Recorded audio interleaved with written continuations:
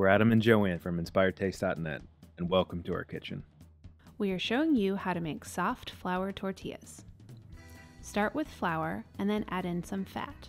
I'm using oil, but shortening, lard, or butter will work too. When the flour looks crumbly, it's ready for the wet ingredients. Dissolve salt in some warm water and then pour almost all of it into the flour mixture.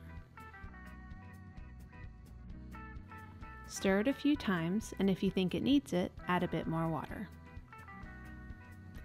When a shaggy dough forms, transfer it to a floured workbench.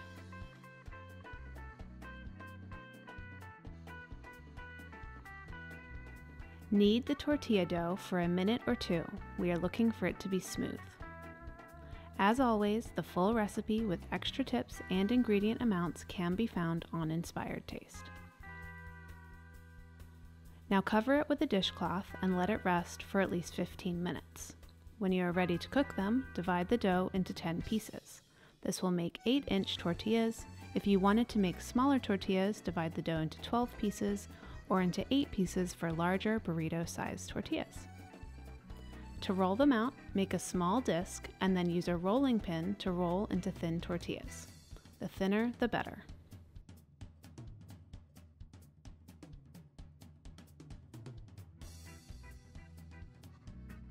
When rolled out, stack them using a small piece of parchment paper between them so that they do not stick.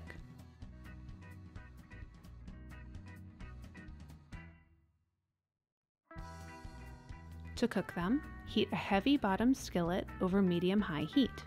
Carefully place a tortilla down and then cook until you see it puff up in spots and it starts to brown. Flip and then cook a bit longer until the second side is browned in spots. Transfer each cooked tortilla to a dish towel and cover it, or place into a tortilla warmer. And that's it soft, pliable flour tortillas. Don't forget to take a look at Inspired Taste for lots of extra tips, including how to store them. Enjoy! Thanks for watching. If you love this video, we have lots more. Make sure you subscribe to our YouTube channel and say hi on Facebook, Twitter, or Instagram. We're at Inspired Taste.